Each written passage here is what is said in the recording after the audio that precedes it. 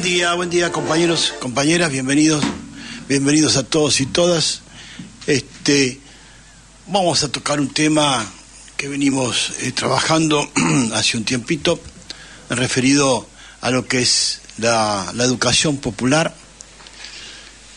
Eh, otros desafíos de la educación popular, estamos, que estamos trabajando en ese criterio, ¿no es cierto?, varios lugares proponiendo la alfabetización del pueblo, haciendo talleres abiertos, independiente del, del sector partidario, en nuestro caso talleres abiertos de peronismo, para que la gente comience a, conquistar la alfabetización política este, de las verdaderas ideologías, filosofías de cada pensamiento político, partidario, ¿sí? Por eso digo, otro desafío de la educación popular es volver a la crítica, a la autocrítica, como una práctica fundamental. Realmente estamos viendo episodios novelescos, parecen culebrones de novela, este, donde lo más importante es, sostener la, popularidad y realmente eh, poco importa si se quiere este, prestigio, ¿no? Prestigio político y este, básicamente, cuando vos, este, como referente, tenés en la mano la vida de muchas personas. Entonces, es como eh, la parafernalia de, mediocres que están enfrentándose a Europa ahora en, digamos, a Rusia, perdón, desde la Europa central, digamos, los británicos, Macron, este, Boris Johnson, que es un payaso alcohólico, Macron, que es otro personaje también, Pedro Sánchez, que no se sabe qué es, el español, Helmut Schulz, el alemán, también otro mediocre. O sea, Europa carece de estadistas y además el, presidente de la OTAN, no el secretario general de la OTAN, el presidente de la OTAN eh, es un general de cuatro estrellas del Pentágono norteamericano y que la OTAN hoy está conduciendo la Unión Europea. Hace una posible este, em, guerra de aproximación como hicieron con Ucrania, la, OTAN con Ucrania. Ahora la OTAN se propone hacer una guerra de aproximación seguramente con, con Europa Central. Y el hegemón, que es Estados Unidos, Estados Unidos Norteamérica, el anglo-sionismo hoy representado, porque ya al Reino Unido Gran Bretaña este, no le quedan ni siquiera los ahorros de la corona, están, no solo que están en quiebra económica, sino también eh, en, quiebra política, ¿no? A nivel sociopolítico, este, un, primer ministro este, que no conoce demasiado la idiosincrasia de los pueblos. fíjense que eh, si hay algo que, que perdieron en Afganistán este, los norteamericanos en el sentido de comprender el pensamiento, la costumbre de la gente a la hora que se te ocurre colonizar un país, un pueblo. Y ayer decía un especialista geopolítica que escuchaba, decía claramente, entraba, un soldado a allanar una casa por la búsqueda de guerrilleros, y este y por ahí se metían en el cuarto, en el dormitorio donde estaban reunidas todas, donde se habían igualecido todas las mujeres, y eso en la idiosincrasia musulmán es un delito de muerte. Entonces, el, jefe de la casa, el marido de la esposa y papá de las hijas se tiraba arriba de los soldados con lo que tuviera, con un con lo que con lo que tuviera, con un pedazo de madera, un palo, lo que venga, y obviamente que lo mataban. De estos casos tuvieron muchos porque el, el norteamericano, el anglosajón, y en este caso el anglosajón sionista, no tiene idea de que lo que lastima en el momento de ocupar un territorio, lo que sea. No tienen idea, no, tienen, o sea, con esto que quiero decir, que no planifican, no tienen planificación porque no tienen cultura para poder apreciar las diferencias del otro y ver cómo sumas las tuyas, para poder hacer, o sea, o, explotar al pueblo lo que venga. Son tan bestias que de Afganistán, después de estar casi 20 años, tuvieron que salir 120.000 soldados y dejar todo, tanques, aviones, todo los, echaban a patadas de Afganistán. Los talibanes, esto que llaman los talibanes, con toda la, con toda la, industria este, anglo de Hollywood, donde los tipos no sé qué hacen, matan a los pibes, se comen crudo a los perros, este, las mujeres no sé qué, este, y todo el noticiero, la CNN y toda la, toda la este, Fox News y compañía, que no pudieron, no pudieron vencer este, culturalmente a un pueblo con creencias profundas, que tiene milenios de, cultura acumulada y que no le podés este, lastimar el honor este, que tiene esta gente, ¿no es cierto? Entonces, se han enfrentado de manera poco planificada por una cultura política por abandono, porque Estados Unidos es el vidrio y el cemento y no es la piedra que tiene historia como pasa en Europa. Vos te apoyás en cualquier pared de Roma y tenés 400, está tocando 400 años de historia. Entonces es muy difícil que el norteamericano entienda cuáles son las prerrogativas de los italianos, de los alemanes, de los españoles, de los franceses. Y para eso han elegido payasos este, para conducir estos pueblos. Lo que pasa es que los pueblos ya empezaban a darse cuenta de que los enemigos no son los rusos, que el oso ruso, que no sé qué, ya no son los enemigos. Parece ser que estos esperaban de que Rusia cayera en el estallido social por todas las regiones, cayera en una quiebra financiera absoluta y de última este, ver cómo manoteaban lo que había. Y realmente no les fue bien.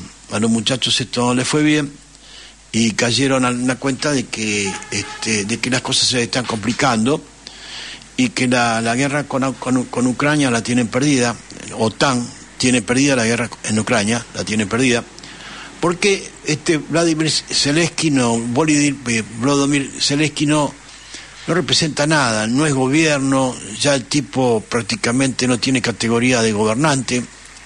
Eh, ahí están viendo si asume el presidente de la Suprema Corte de Ucrania, porque el tipo no tiene validez. Todos los actos que cometa, acuerdo de paz, lo que, lo que, cometa, lo que el tipo firme como acuerdo no tiene validez, pues no tiene mandato presidencial vigente, ya, no, ya se le venció es un, ciudadano común ucraniano como cualquiera.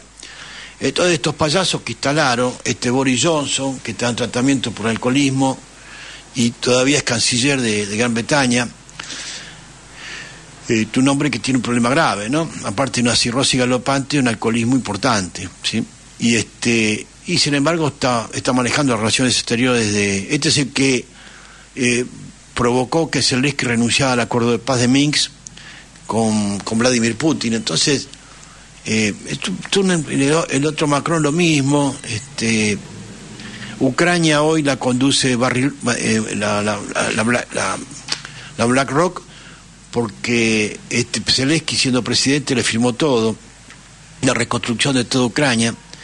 Ucrania cuando se lleva un pedazo Polonia, otro pedazo Rusia y otro pedazo los países que tienen alrededor, y debe va, va a ser más chico que, qué sé yo, en la situación que quede, que va a ser peor que, que Villa Oculta, o sea, no va a quedar nada, ¿sí? no va a quedar absolutamente nada de Ucrania. Y este, gracias a, a, tratar, porque ahí estaba el hijo Hunter Biden, era el dueño de la empresa de gas este, ucraniano y fueron sacando gas y licuando gas hasta que pudieron para venderle a Alemania, para venderle gas a, a varios países de Europa, y se terminó el negocio y se fueron. Ahora están tratando de quedarse con el gas natural que está en el litoral de Gaza, ahí en Palestina, y viendo cómo terminan de exterminar a todos los palestinos para poder manotear el gas. Y el yerno de, de Trump, otro ladrón que ya está procesado, tiene 328 causas penales, este, está haciendo negocios inmobiliarios sobre los cadáveres que todavía no pudieron ser rescatados, los escombros de la ciudad de Gaza, la ciudad de Gaza, hagan de cuenta cómo es, este, como puede ser alguna, alguna ciudad del primer cordón del conurbano bonaerense, Ramos Mejía, una ciudad de estas sí es Gaza, con edificios, con todo, no quedaron ni 50 escombros de una, de una altura de 50 centímetros. Y debajo de esos escombros todavía hay 12.000 personas desaparecidas, funda, mayormente niños y mujeres, este, que hoy los cadáveres compuestos se pudren en las calles y los entierran con topadoras en fosas comunes y este o en las morgues, bueno, nos imaginan lo que es. Y este bueno, de esa manera el yerno de, Biden, también sionista, están tratando de hacer negocios inmobiliarios para ver qué hace arriba de todo eso, ¿no? Sobre todo eso que quedó. Entonces es muy, es muy triste este, este, este sistema, pero vuelvo a repetir, el grave problema que tenemos acá es, es una grave crisis, un pasivo enorme de educación popular. Y hoy los medios nacionales todavía siguen hablando de la Rusia que está loco, Putin y compañía, y las discusiones, si vos lo escuchás a estos tarados, parecen lo que ya sabemos, ¿no? C5N Dugan, el otro, bueno, todo uno, uno más ignorante que el otro, y repiten un libreto que les, que les exigen ayer, porque C5N, el mayor accionista de C5N, no es el grupo Indalo, sino eh, la secta Jabad Lubavitch, que tiene el comisariato político del canal. Son los que dicen, los que bajan la línea que, tienen que seguir el canal. ¿Te imaginan con el Estado anglosionista de Israel lo que puede pasar, las noticias que pueden bajar, ¿no?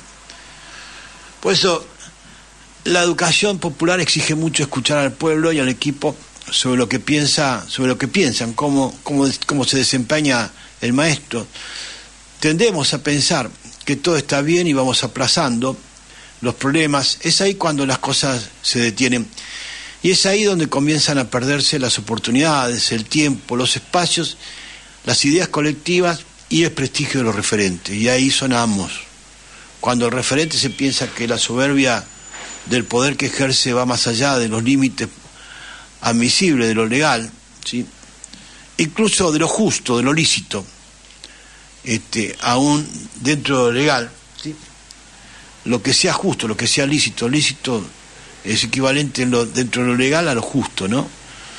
Y entonces, eh, que las chicas del colectivo de la defensa de, la, de, la, de, la, de, los abusos a las mujeres hagan después, del, después que dictan el procesamiento a Espinosa, que, que lo salga a atacar este Máximo Kirchner defendiéndolo a, Martín Insaurralde, o que Kichirov este, salga abrazado después que lo procesan a Pinoza defendiendo no sé lo qué, porque más allá de las circunstancias ese tipo fue, procesado y no es lo mejor que puede ser. Por eso digo, es muy importante que este, volver a formar cuadros políticos a futuro para que entiendan que sobre las manos cuando toman decisiones de gobierno o cometen estupideces como las que acabo de describir, sepa que en esas manos tiene la vida de miles de personas, el destino de la vida de miles de personas. Entonces se se desfigura la historia, se acrecienta la abstracción ideológica y se deforma la filosofía de vida colectiva en un individualismo de un materialismo con soberbia, agobiante, y básicamente redundando en ampliar y ampliándose si me permiten, la ignorancia social. La educación formal, aunque no es posible adoptar en la escuela formal la metodología de la educación popular, tendríamos que pensar en, una educación, en programas de cultura política neutros, sin partidismos, ¿sí? pero tratar de configurar la escuela como una unidad política, donde el alumno vuelva a la casa con novedades al respecto, este, estudiando filosofías, estudiando ideologías, y, que, esa, esa, esa, ida y vuelta, esa devolución también enriquezca culturalmente a, la propia familia, ¿no es cierto? Por eso es muy importante a futuro pensar, este, pensar, tenemos que pensar en tantas cosas, entre ellos el rol de la mujer, pero eh, que, la, escuela pueda ser una, unidad política, que no está, no es, no es una mala palabra. Eh, te diría que que la sinagoga puede ser una unidad política, ¿sí? para que no caigamos en que en la judiofobia de que todo el judío sionista. Entonces también es importante que la Iglesia Católica, que el templo católico también sea una unidad política. No está prohibido hablar, hablar de política y muchos papas ensalzaron la política como la, mejor, la mayor. Decía eh, Benedicto XVI, también es el más, teólogo de todos, la, la manera excelsa de practicar la caridad. Así que no sé lo que esperan los obispos para poder establecer esas unidades políticas imprescindibles para que la Grey este, puedan, puedan interpretar eh, el mundo, el medio ambiente que los rodea.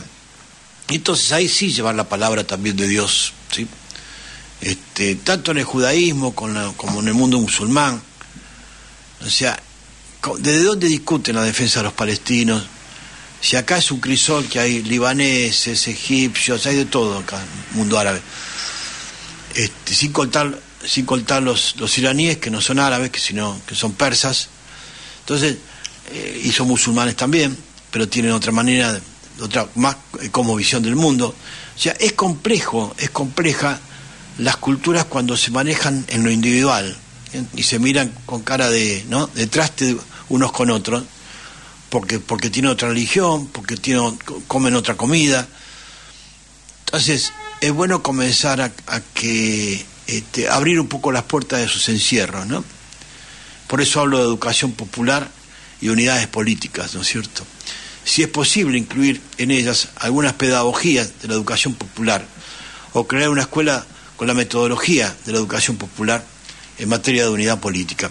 esta posibilidad es válida para otros espacios de la reproducción del sistema de educación popular, por ejemplo, la radio, la TV, como dije recién, incluso las redes sociales. En general, son espacios proactivos y positivos en sus objetivos inmediatos y de mediano plazo, por lo tanto, si se puede enseñar cómo criar un gato, cómo criar este, un perro, cómo cultivar una planta, cómo, cómo hacer un plato de comida, ¿por qué no enseñamos también a cómo armar un buen guiso político con la comunidad, con el vecino de al lado, con, los, con, con tus hijos, con los amigos de tus hijos, y sentarnos a, compartir un mate o algo y vivir comunidad política, cuáles son, cuáles, cuáles son las propuestas que puedan llevar adelante a mejorar el barrio, ¿no? Con todo, con el boliviano de la verdulería, con el paraguayo de otra cuadra, porque somos una unidad social y saben que tenemos un destino de vida común. Y si ese destino de vida común no lo enriquecemos con conocimiento, por eso la educación popular, estamos en el horno y sin papa. No, las papas encima están caras y no las podemos comprar. En general, son espacios proactivos, positivos, de sus objetivos inmediatos y de mediano plazo. Por lo tanto, digo, son necesarios, como los consejeros psicopedagógicos de los colegios, que a veces están ausentes y sin aviso, la atención de los niños, básicamente los niños después de la niñez son los púberes y adolescentes, donde vive crisis de evolución psicológica, y si no tenemos muy acomodado el medio ambiente social y familiar, y se complican los pibes, ¿sí? Los proyectos de salud, etcétera. Como tenemos que revertir una visión apocalíptica de la sociedad, no vamos a dejar de adoptar algunas iniciativas por resaltar aquello que la justificación de que eso, o aquello solo se podrá lograr en una nueva sociedad, porque hemos descubierto lo nuevo de hacer ahora y a través de la acumulación de los hechos nuevos del quehacer político quehacer histórico político es un tendedero de la historia donde vamos colgando las diferentes prendas que en el quehacer histórico son esa ropa que simboliza los hechos nuevos, donde vamos construyendo casualmente parámetro dominante del quehacer histórico político, o sea, ¿a dónde vamos? Porque si bien la socialdemocracia de Lenin planteó este, militar el capitalismo para que de adentro eliminarlo, acá la progresía tal vez quiso hacer lo mismo con el peronismo y le fue como el culo. Así que entendemos que eh, la progresía leninista, ¿sí? entendamos que se caracteriza el, proceso de preparación humana de Perón se, caracterizó por la aparición de los hechos nuevos, de luchar por la gratuidad universitaria, luchar por la salud pública, luchar por el boleto estudiantil, este, por tener una línea de trolebuses como había en Lanús, este, donde está ahora el edificio de la, la municipalidad sobre Hipólito Yrigoyen, estaban las terminales, los galpones donde estaban los trolebuses para ir directamente de Lanús a Ciudad Universitaria, pasando por Pompeya. Y entonces la fila de los muchachos que llegaban con el tren hasta Lanús, de, la zona más sur, ¿no? de Loma, de, de Turdera, de Lavallol, de Jauregui, de Ceiza, o de, del otro lado, de Mármol, de Calzada, de Gleu, de San Vicente, llegaban hasta ahí y se subían al, al trolebús que los llevaba a Ciudad Universitaria. Y así como decía, pero eh, los obreros, hijos de los obreros pueden acceder al, conocimiento universal, a la universidad, estudiar carreras en las facultades de diferentes, diferentes carreras, ¿no es cierto? Pero, eh, pero, a ver, también contando con infraestructura para hacerlo, para que vos, gastando lo necesario para viajar, pudieras llegar a, a, la universidad, ¿no es cierto? Pagando un boleto de tren, que después se becaba eso, ¿no? Y se subsidiaba para que los, estudiantes bajaran gratis con la, con la libreta, ¿no? Entonces todo eso fue posible porque había una predisposición ideológica, pero también estaba educado el que recibía el beneficio. Ahí cuenta Frei Beton, yo tengo acá el audio, donde eh, eh, la educación popular en Brasil en los 70 y los 80 tal vez produjo el sustrato que hoy llevó a, Lula a, la, presidencia de la nación, ¿no es cierto? Pero eh, fue, fue, fueron cuadros políticos que tuvieron la ventaja de educarse, inclusive los llevaron a Rusia a estudiar la revolución bolchevique y compañía, pero resulta que al final, al cabo, eh, estos muchachos o no estaban preparados para poder, eh, digamos, capitalizar lo que recibieron, ¿no es cierto?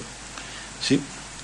Y entonces este, se les complicó, se les complicó muchísimo, porque no entendían muchas cosas. Acá tengo en el audio, paso por acá. Acá tengo el libro de Faribeto para escuchar un poquito, a ver si. Entonces, siempre la relación es práctica, teoría, práctica. Práctica, teoría, práctica. La práctica viene al inicio y al final. Ocurre que muchas veces a escuela de cuadros de formación aquí en Brasil, que vem muchísimas, todavía tenemos algunas, pero en los años 70, 80, eram muito muy numerosas las escuelas de cuadros en todo Brasil, que llamávamos de escuelas de educación popular, que nuestro objetivo era formar gente mismo de la base, campesinos, obreros, dueños de casa, gente muy sencilla. Esta gente que ha produzido movimentos que por su vez llevaron Lula a la presidencia de Brasil. O sea, Lula es resultado de toda una formación de militantes de base y esta metodología de educación popular que es fundamental en la formación. Pero muchas veces hay gente que pasa por una escuela de cuadros eh, donde hay solamente teoría, o sea, no hay una práctica. Entonces esa gente se transforma en meros teóricos.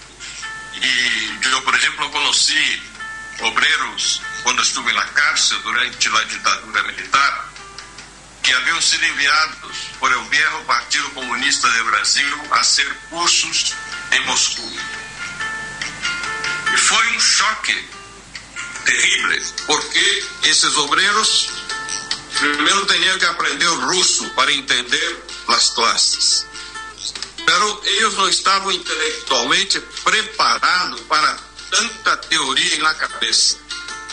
Então regressavam desde a União Soviética, chegavam na prática do Brasil e já não eram nem propriamente teóricos, porque não tinham uma formação para assimilar todo aquele conhecimento e também já não eram rede de base, porque haver passado por essa experiência em Rússia é, atraído um certo elitismo a ele. Então, se nós outros temos que ter muito cuidado, ou seja, a escola de quadros não pode funcionar como um centro de formação permanente. Tem que funcionar como uma gasolineira. Explico. O importante é que a gente esteja lá em la luta, em la prática, em no campo, em la fábrica, em la, el bairro, eh, en los sindicatos, associações, movimento. Pero, periodicamente, essa gente deve passar na escola, aí está a gasolineira, para abastecer-se, para poder mirar sua própria prática, profundizar, analisar, eh, reconhecer os errores, os equívocos e sair de aí para volver melhor para a prática. Por isso, utilizo muito eh, essa associação entre escola de quadros e gasolinera. Eh, não pode ser eh, em si mesma a escola um objetivo de militância, de nenhuma maneira. A militância se dá em la prática. Toda prática política, social, tem que ser comunitária, tem que ser uma prática coletiva. Então, por isso, é muito importante essa associação. Y, y tiene razón. Este, nuestra, cuando hablamos de eso es fundamental. Nosotros hablamos de casas peronistas como una unidad de militancia, donde los compañeros primero que tienen, salen las primeras dos semanas, donde organizan un poco la, el barrio, que son nueve manzanas, 350 familias, 1.800 personas o electores que tienen ciudadanos que pueden tener la capacidad de votar. Primero que salen a militar 40 minutos por día, recordarse de cuadras para invitar a la gente a traer una propuesta política, una propuesta política, para poder eh, organizar un plenario, si no, no puede ser. Y se forman para esa tarea, esa primera tarea, ¿sí? que es eso, después se va, va, va complejizando la conducción política táctica, pero empezando por allí, no para convencer a nadie, sino someterte a un sistema y un método que permitan al, al, al, proceso básicamente el encuentro con los idealistas que tiene el barrio, que uno no los puede distinguir en apariencia, pero sí a través de un método y un proceso. Más complejo el tema, pero digo, es muy cierto esto, de que esa unidad de militancia, esa gasolinera, esa estación de servicio, sirve para recargar el tanque, ¿sí? corregir los errores. Mire, en educación, educación popular, ya estamos hablando inclusive de educación eh, muy sensible, o sea, este, educación emocional. Y entonces yo estoy trabajando en el diseño de, de naipes de conducción política para aprender a jugar. Este, los principios de conducción política, que son 75, yo los reduje a 25 y de ellos puse unos 25 naipes más este, de lo que son las reacciones emocionales de, la tarea social. Pero esos 25 principios son 25 principios que, la persona aprende a, jugar para aplicarlos. Entonces tiene un evento y, elige cuáles son los naipes que va a usar en ese evento, que va a jugar en ese evento, cuáles son las cartas que va a jugar en ese evento. Y cuando termina el evento va a corregir cuáles le faltaron o cuáles cartas jugó mal. Y es una forma de educación emocional este, muy importante en esta época de la, de la, educación, de la etapa de la educación popular, ¿no es cierto? Nosotros que venimos de esa etapa, de ese crisol de educación popular, es muy importante que esa educación popular que antes la hacíamos en un barcito, nos agarraban los viejos, a mí me tocó formarme con compañeros de la resistencia, pero que me llevaban 20, 30 años de diferencia, y después me fueron formando, formando, más fueron este, amoldando en ese crisol eh, fundante, donde se fundía el acero primordial, digamos, del, del, sentimiento político a nivel, a partir de la filosofía, después de la ideología. Pero después te mandaban, te enchufaban en lo disciplinado, disciplinado de la Escuela Superior Peronista. Y ahí estudiamos 36 materias de ciencia política. Este, ya era el sumo, en el sumo tocar un poco el, el cielo peronista con la mano, pero digo, eh, esto pasaba en una época donde se usaba ese, ese, sistema. Hoy una escuela online por internet este, puede suplir algunos aspectos, no todos, porque lo importante, eh, y esto hay, hay ejemplos concretos, ¿no? Lo importante es el mano a mano, es la cuadra por cuadra, casa por casa, persona por persona, y después sí, apelar a las redes sociales para poder hacerlo. Pero diablo, lo que estoy hablando yo de la formación, de la educación popular, de la formación de cuadro, ¿no? Esto que llamábamos educación popular. Y, y casualmente es la única manera de contar con la columna vertebral de ese parámetro dominante del quehacer histórico, que se caracteriza precisamente por la aparición de los hechos nuevos.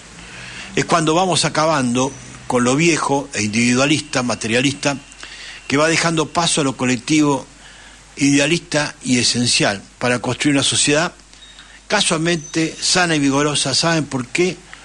¿Por qué son sociedades sanas y vigorosas? Porque se caracterizan precisamente en cómo sus mejores individualidades se predisponen a procrear mayores beneficios, pero no en sentido personal, sino en sentido colectivo. Fíjense la diferencia con los acontecimientos que vamos viendo en el conurbano, cuál es la diferencia, ¿no es cierto? ¿Sí? Del beneficio colectivo al beneficio individual. A través, pero digamos, porque hay una deformación, hay un déficit, hay un pasivo en la formación política aberrante, ¿no? Este, hacemos una pausa, escuchamos la libertad del León Gieco y después seguimos. Muchas gracias.